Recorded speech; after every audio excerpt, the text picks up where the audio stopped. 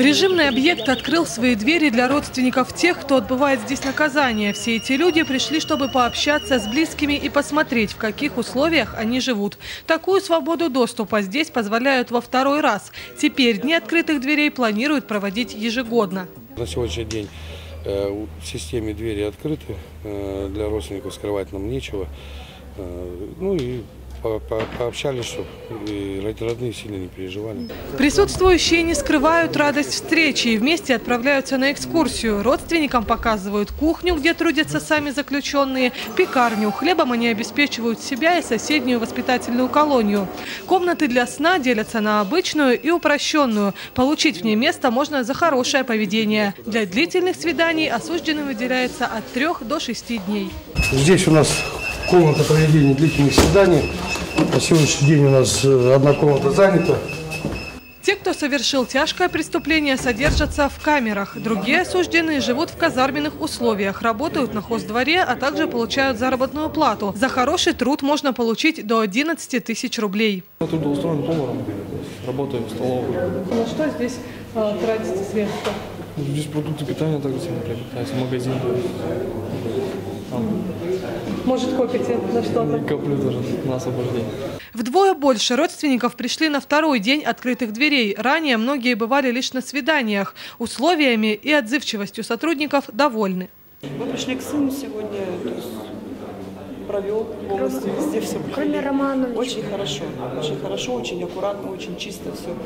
Кухня вообще поразила, я сама повар, поэтому оборудование прям на высшем уровне, потому что у нас такого даже в столовой нет.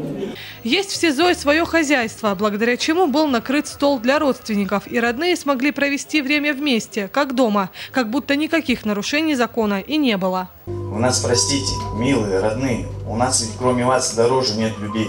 Как говорится, дети – это радость жизни, а вы для нас опора в ней. В Канской воспитательной колонии осужденные подготовили концерт для своих близких. Подобные встречи проводятся регулярно. До 45 родственников бывают здесь ежемесячно. С учетом того, что в учреждении содержатся 73 осужденных. Причем часть из них из-за пределов Красноярского края.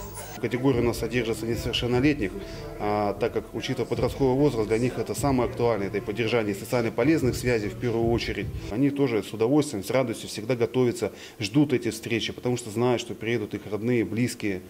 Вот, э, и я думаю, это оч- очень положительно влияет и на поведение самих осужденных, то есть и на общую обстановку в учреждении в целом. Немалую роль в жизни малолетних заключенных и их пути к исправлению играет попечительский совет. семья. То есть это объединяющее. Какие бы ни были бы друзья, всегда в трудный момент э, семья идет навстречу. И даже сегодня, глядя в зал, сидят родители, э, пришедшие поддержать своих домочадцев, своих детишек. Хоть и произошло э, э, нарушение закона, но тем не менее никто никогда не бросает.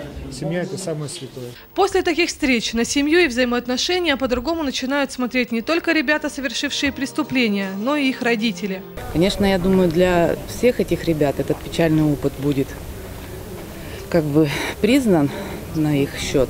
Но также и родители в свое время, может быть, что-то где-то и неправильно делали. Ну и вот учимся вместе теперь, как правильно жить семьей.